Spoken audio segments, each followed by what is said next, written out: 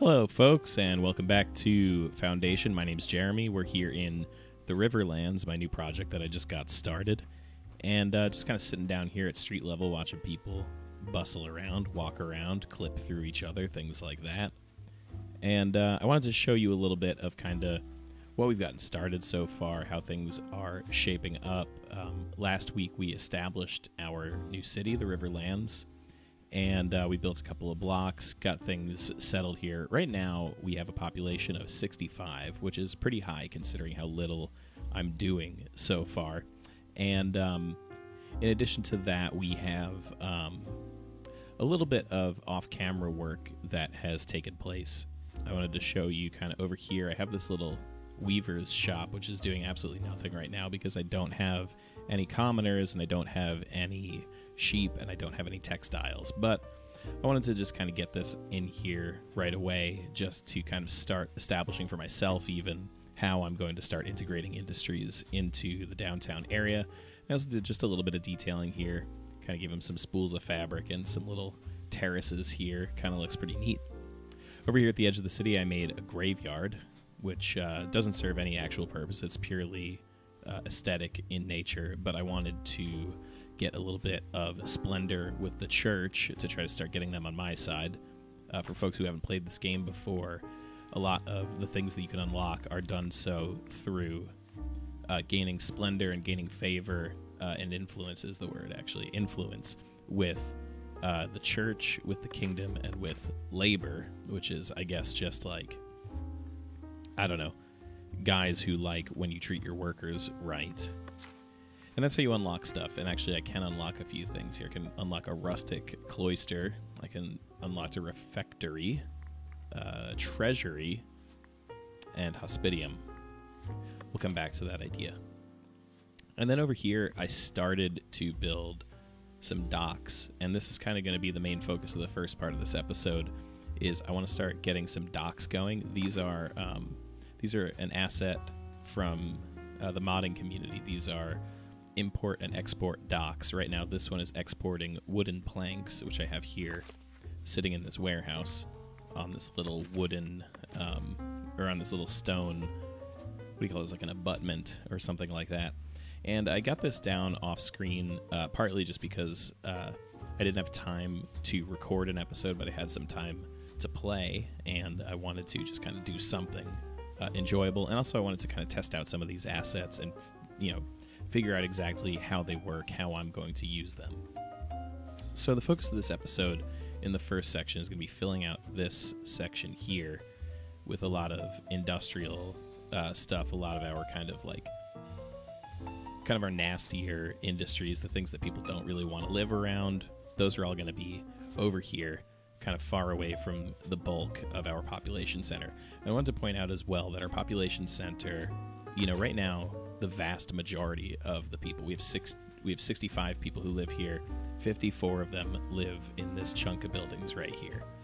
So we have the capacity for a lot more people before we really have to start thinking about expanding housing any further than we have. This is, I mean, this is room enough for probably about 300 people if I had to guess. So, you know, I think the main goals of this episode are going to be uh, clearing out all of this stuff from the center of town, getting it all moved over here into a nice, neat, and arranged sort of a way, a nice, compact sort of a profile for all this to keep it matching this area. I want to get that all moved over here. I want to expand these docks all the way down to the end. I want to move fishing over to here.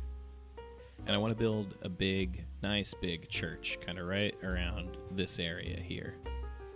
Because I want to ultimately, I want to improve everybody's uh, lifestyle because that's the main thing I'm, list, I'm, I'm missing right now is uh, service. So if I can get service uh, for all 65 people, then I will be able to start upgrading some people to commoners, which means that I can start using my bailiff's office. I can start collecting taxes. We can really start moving things forward gameplay wise. All right, so let's get things started here. First things first is I want to I want to add a couple of small warehouses over here. We're going to use the little sheds because I think they look a little bit better than the I don't know if they call that one the small shed, something like that And let's see. I want to try to make a nice straight line of like two or three of these coming right off of this dock. We're going to put three of them. Oops. Oh, jeez. All right. We're to put three of them right next to each other. One, two, three. Let's give each of them a door. Let's build those. Okay, we got some guys showing up to drop off their goods, drop off all the wood that we're gonna need to build this. I what do these need actually? They need regular wood and they need planks. So guys should just be bringing planks from right here, but they don't seem to be. So that's kind of annoying. Go ahead and get those built. Come on. Uh, I actually don't really like the way that these look when they're overlapped. I think that, uh, yeah, I think that these little things overlapping each other, that's going to be a problem for me.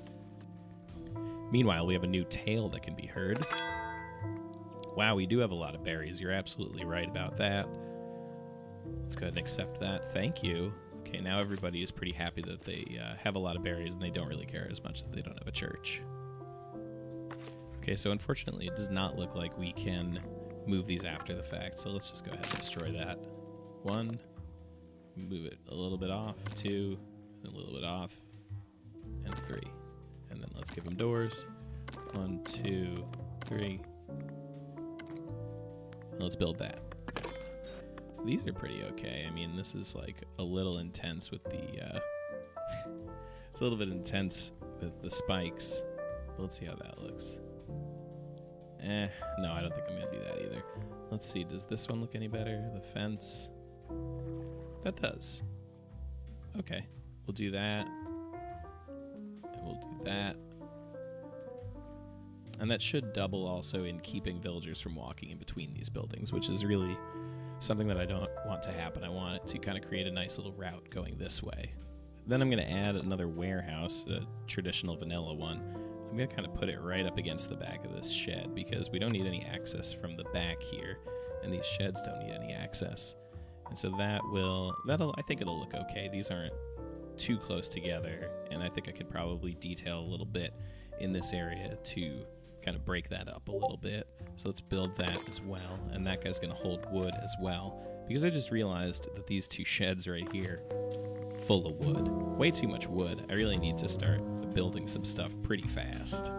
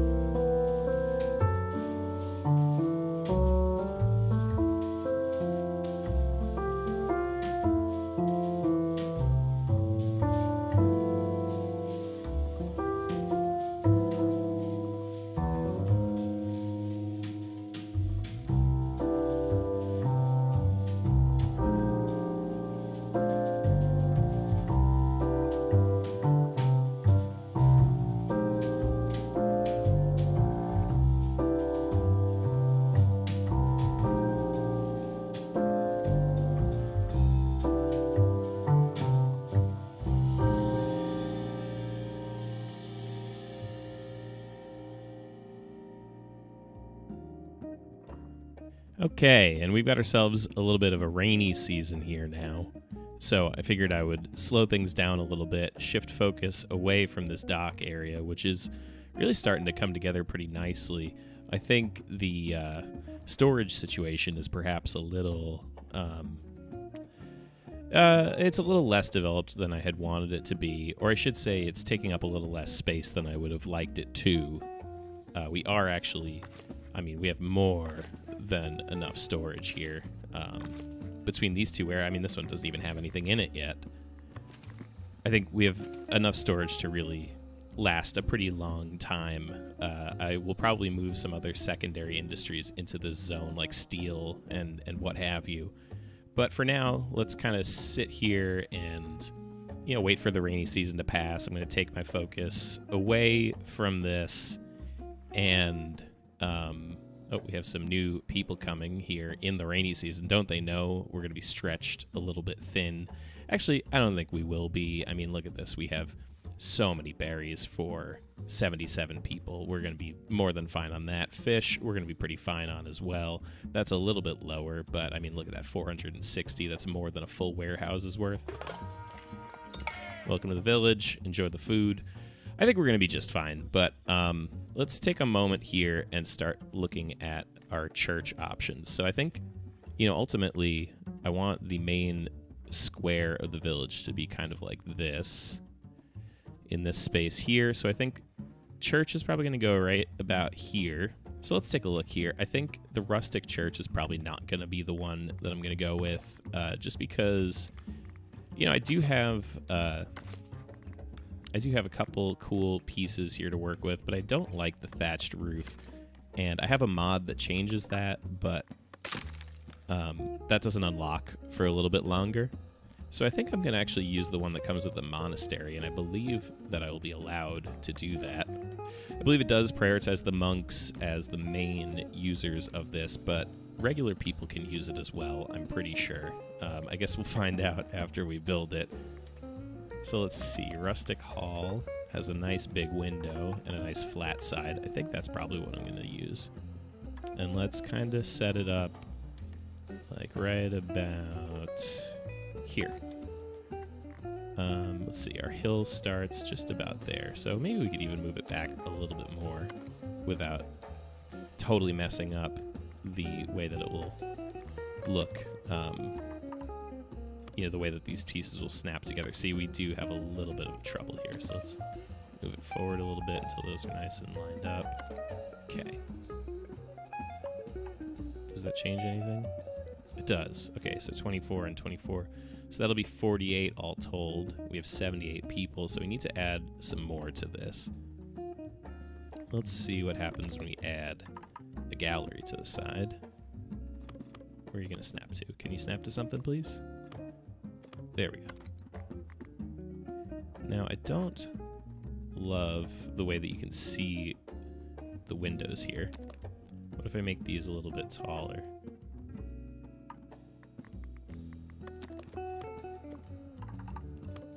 That's a little better.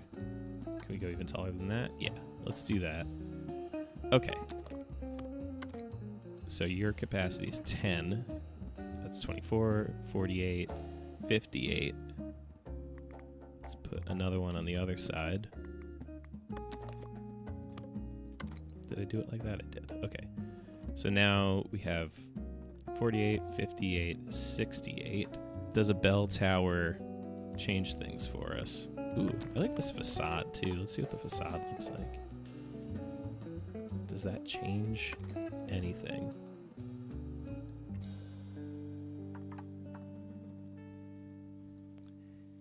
Yeah, it doesn't really look right for us though, does it? Let's see. Enclosed belfry, open belfry, wooden belfry. To be honest with you, I think the wooden one looks probably the, the most charming, but I think we're going to go with this one. Let's see, does that add any capacity? It doesn't. Uh-oh. Let's make that nice and tall. What happens we go down one? Okay, the window still works. Okay, so... That's pretty nice, I have to say. Let's throw this on the back. There we go. Okay, now that's going to be 24, 48, 58, 68, 78. That's enough for everybody. Everybody's happy. Let's give this thing a couple of doors. and move on with our lives.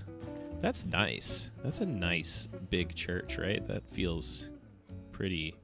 Let's see what happens if we. Does that cover the windows completely? That does. Okay. Still doesn't change the capacity, but I like the look of that a little bit better. Beautiful. Nice church. Let's see if we can add a little bit of splendor to the thing. Oh, look at all these monument decorations that I'm not supposed to have. This is from some mod or another. Hmm. Some candles. Where would the candles go? I don't even know. Who do you snap to? Do you snap to anybody? Oh, I could put it up on the roof. That's pretty funny.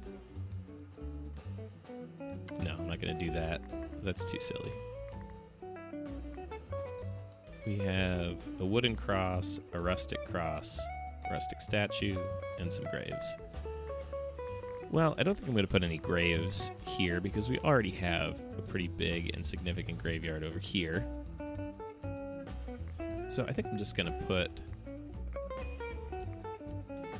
Oh, we can put this big gold cross, but we're not going to do that. We're just going to use the regular stone cross. Put it right up here at the top. Do we need a door here in the front? I don't think we do.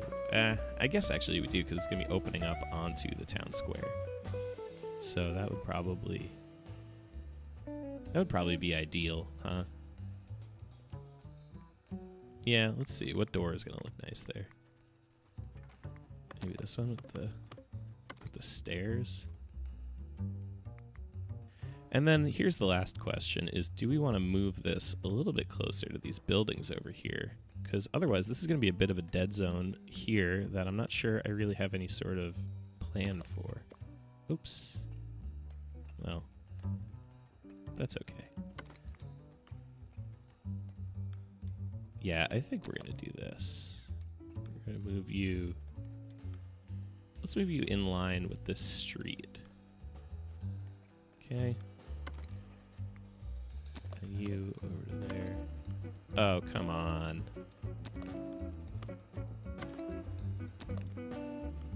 Get down that hill.